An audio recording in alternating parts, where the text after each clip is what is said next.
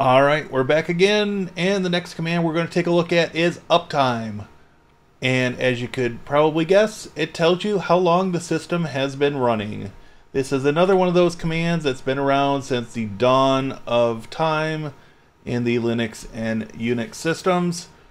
And you just run uptime, and it tells you this particular system has been up for 11 days, 22 hours, and 52 minutes there's one user, and then it tells you the load average on the CPU. Mac OS will tell you much the same thing. Again, the time, how long it's been up, how many users, and load averages.